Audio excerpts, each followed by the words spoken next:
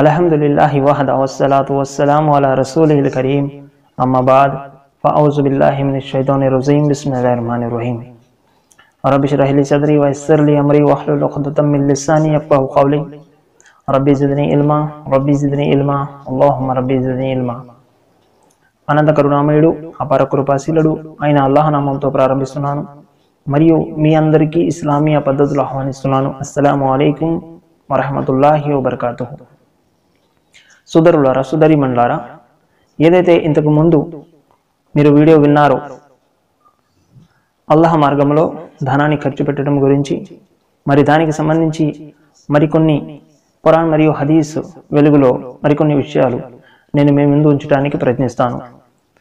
అల్లా సుబానవతాల ఖురాన్ గ్రంథంలో ఏం తెలియజేస్తున్నాడు అంటే అల్లాహ్ మార్గంలో దానం ఖర్చు పెట్టే దాని గురించి. ఖురాన్ గ్రంథంలో సూర్య ఫాతిర్ ముప్పై ఐదవ సూర ఆయత నంబర్ వచ్చేసి ఇరవై తొమ్మిది నుంచి ముప్పై. ఈ రెండు ఆయతుల్లో అల్లా సుబానవతలు అంటున్నాడు ఎవరైతే ఈ గ్రంథాన్ని అంటే ఖురాన్ గ్రంథాన్ని ఎవరైతే పఠిస్తారో పారాయణం చేస్తారో మరియు నమాజులు స్థాపిస్తారో మరియు నేను ప్రసాదించిన వాటిలోంచి నా మార్గంలో ఖర్చు చేస్తారో అలాంటి వారికి ఎప్పుడు కూడా నష్టం కలగదు అని అల్లా సుబానవతల సాక్ష్యం ఇస్తున్నాడు. అల్లా సుబానవతాల యొక్క మాట కంటే గొప్పది ఇంకేముంటుంది సుధర్లారా అల్లా సుబానవతాల స్వయంగా తెలియజేస్తున్నాడు. ఖురాన్ని పఠించేవారు నమాజ్ని స్థాపించేవారు మరియు నా మార్గంలో ఖర్చు చేసేవారు ఎప్పుడు కూడా నష్టపోరు అని అల్లా అంటున్నాడు. మహాప్రవక్త ముహమ్మద్ సల్లాహం వారి యొక్క హదీస్ని మనం చూసినట్టయితే సై బుఖారీ హదీస్లో వస్తుంది. ప్రవక్త వారు అన్నారు ప్రతిరోజు ఆకాశం నుంచి ఇద్దరు దైవదూతలు దిగుతారు. ఇద్దరు దైవదూతలు రోజు ప్రతిరోజు దిగుతారు. దిగి ఇలా అంటారట ఏమని అల్లాహతో ప్రార్థిస్తారు? ఓ అల్లా ఎవరైతే నీ మార్గంలో ధనాన్ని ఖర్చు చేస్తున్నారో వారికి నీవు ఇంకా ధనాన్ని ప్రసాదించు ఇంకా వ్యాపారంలో అభివృద్ధిని పెంచు వారికి లాభాలు వచ్చేటట్టు చేయని అల్లాహతో వేడుకుంటాయి దువా చేస్తాయట. మరియు ఎవరైతే నీ మార్గంలో ఖర్చు చేయరో వారి గురించి ఇలా ప్రార్థిస్తారట. ఎవరైతే నీ మార్గంలో ధనాన్ని ఖర్చు చేయరో వారి కోసం ఈ విధంగా దువా చేస్తారు. ఇతని యొక్క వ్యాపారాల్లో నష్టం వచ్చేటట్టు చెయ్యి. ఇతని ధనాన్ని ఇతని లాభాన్ని నాశనం చెయ్యి అని చెప్పి వారు దువా చేస్తారట. సోదరులారా చూడండి. అల్లాహ్ మార్గంలో ధనాన్ని ఖర్చు పెట్టడంలో ఉండే లాభం ఏమిటో ఒక హదీస్ నేను మీ ముందు ఉంచడానికి ప్రయత్నిస్తాను. సహీ ముస్లిం హదీస్లో వస్తుంది. ఈ హదీస్ని శ్రద్ధగా వినండి. ప్రవక్త ముహమ్మద్ సుల్లాహం వారి హదీస్ సహీ ముస్లిం హదీస్లో వస్తుంది. ఒక వ్యక్తి దారి గుండా వెళుతున్నాడు. నడుచుకొని వెళుతుంటే మార్గ మధ్యలో ఆకాశంలో ఒక శబ్దం వింటాడు. ఏమిటంటే రెండు మబ్బు తునకలు మాట్లాడుకుంటూ ఉంటాయి. అవి ఈ విధంగా మాట్లాడుకుంటూ ఉంటాయి.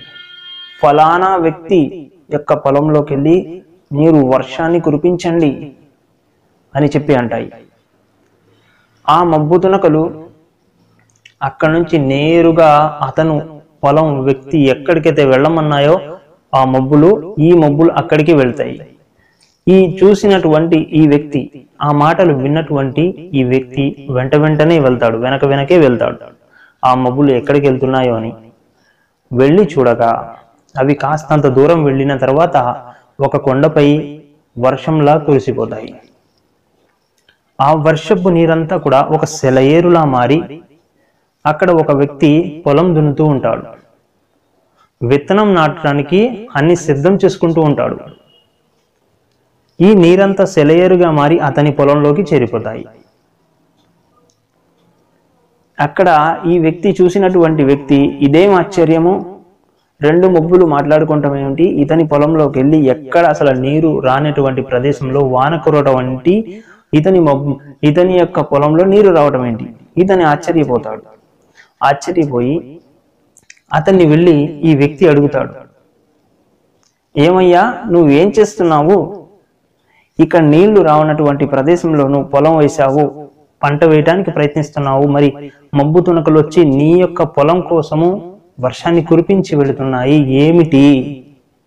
నువ్వేం చేస్తున్నావు? ఎందుకు ఇలా జరుగుతుంది?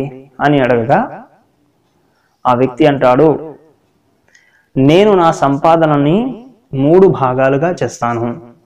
ఎన్ని? మూడు భాగాలుగా. మొదటి భాగము నేను ఇందులో పెట్టుబడిగా పెడతాను. పొలం కోసము పెట్టుబడిగా పెడతాను మొదటి భాగము. రెండవ భాగము నా భార్య పిల్లల కోసం నేను తీస్తాను. మూడవ భాగము నేను అల్లాహ్ మార్గంలో ఖర్చు చేస్తాను. నేను ఈ విధంగా ప్రతిసారి కూడా ఇదే విధంగా చేస్తూ ఉంటాను అని చెప్పి ఆ వ్యక్తి తెలియజేశాడు. ఈ హదీస్ను బట్టి మనకు తెలిసింది ఏమిటంటే సోదరులారా సోదరిమల్లారా అల్లాహ్ మార్గంలో ధనాన్ని మనం ఖర్చు పెట్టినప్పుడు అల్లాహ్ సుబానవతాల ఈ విధంగానే మనకు మేలు చేస్తాడు ఈ విధంగానే మనకు లాభాన్ని ప్రసాదిస్తాడు సుదర్లారా.